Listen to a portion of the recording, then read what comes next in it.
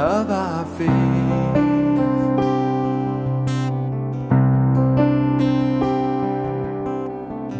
Creator and giver of our peace.